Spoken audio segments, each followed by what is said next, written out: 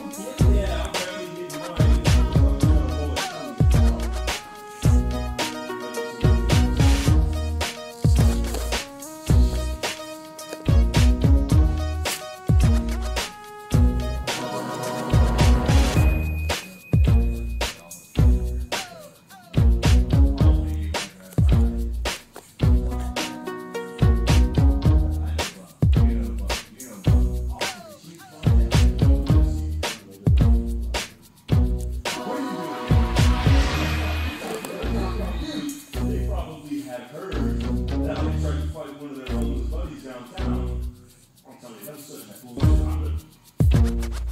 I leave, before I leave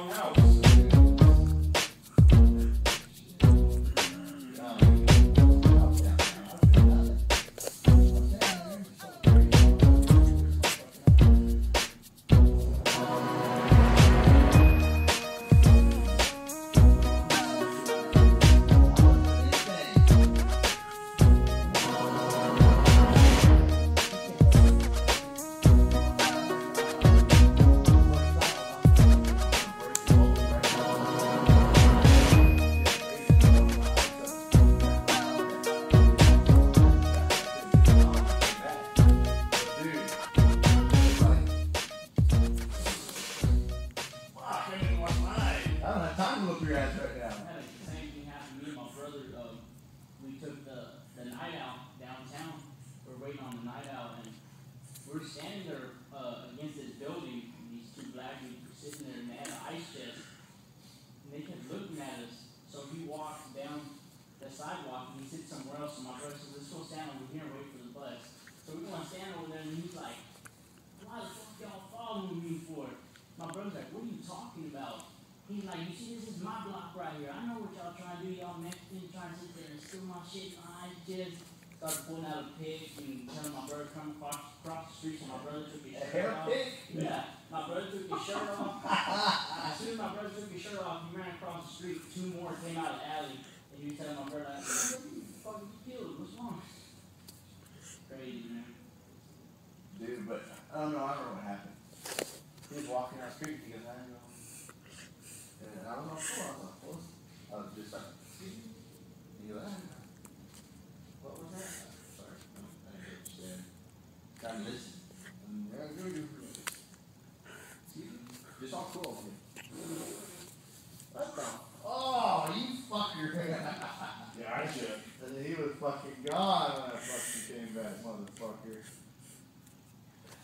Wow, like, I was gonna fucking break his bones. Cause to me, that's, if he has AIDS, that's attempted murder. hell yeah. I'll fucking kill you then, you know, that's all, to me, that's an attack of the yeah. But I just fucking, right away when I fucking, when I walked that, fucking,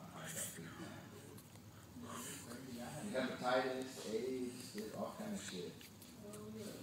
I had one try to give uh, me money too one time. It was like opposite.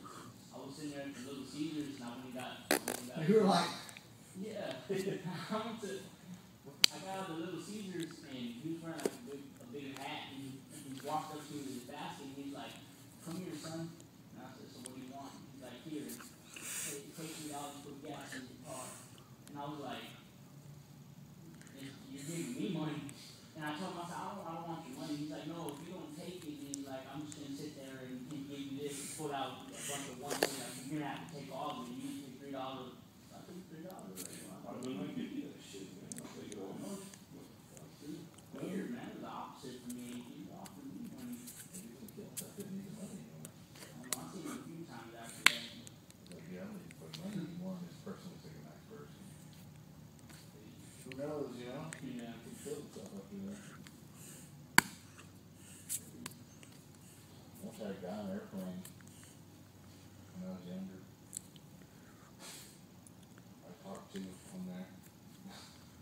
Gave me his business card and shit and said, your car gonna be him off. And didn't know anybody and all this